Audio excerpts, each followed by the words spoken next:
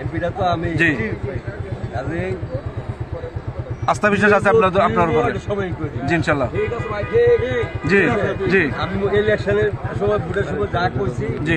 একশো একশো অক্ষর অক্ষরে তাই করব দুর্গাপুর কলমাকান্দা নেত্রকোনা এক আসনের মাননীয় সংসদ সদস্য জনাব মোস্তাক আহমেদ রুহি আজ বিজয়পুর এসে যে আলটিমেটাম দিলেন দুর্গাপুর উপজেলা কুল্লাগড়া ইউনিয়নে সুব্রত সাংমা হত্যার পর নৌনবীর উপর হামলা নৌনবীর উপর হামলার পর আওয়ামী লীগের একনিষ্ঠ কর্মী মুজিবুর রহমানের মৃত্যু।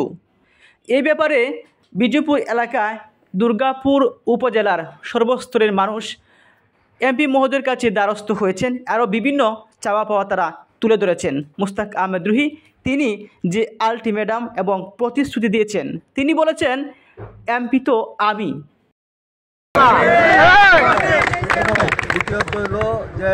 আমি যত- যে সময়টা দেওয়া দরকার এখন আমার ব্যস্ততা সময় ব্যস্ততা, কিন্তু আমার নিজের লেগে না।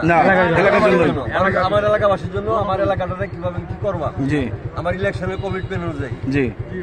সেইভাবে যখন আমি এটা গুছাইলাম জি। তখন কিন্তু আমার হাতে পর্যাপ্ত সময় এরপরে আমি দিনের পর দিন রাতের পর রায় সময় দিতে পারব সবাই জি ইনশাল্লাহ। হ্যাঁ, যত মনের কথা আছে সবাই খুলে কইতে পারব হ্যাঁ, মোস্তাক আহমেদ রুহি তিনি দ্বাদশ জাতীয় সংসদ নির্বাচনে সদ্যমাত্র এমপি হয়েছেন দুর্গাপুর কর্মাকান্তে মানুষের জন্য যা যা করা দরকার তিনি সংসদে উপস্থাপন করে সেই কাজগুলো শেষ করে তিনি নেত্রকোনা এক আসনে সবার জন্য সময় দিবেন সবাই মন খুলে চাওয়া পাওয়া মনের কথা শেয়ার করতে পারবেন আর অবশ্যই তিনি সমাধান করার চেষ্টা করবেন এমন প্রতিশ্রুতি দিয়েছেন। তিনি বলেছেন আপনারা আমাকে প্রথম সময় দিন আমি যেন উন্নয়নের কাজগুলো সংসদে উপস্থাপন করতে পারি। আমার একটা পরিকল্পনা আছে। আমি সেই পরিকল্পনা মতো সেগুলো আমি ঢাকা থেকে সংসদ থেকে আমি আদায় করে নেই। তারপর আমি অবশ্যই এসে আপনাদেরকে সময় দিব। ধন্যবাদ। জি। এমপিটা তো আমি জি।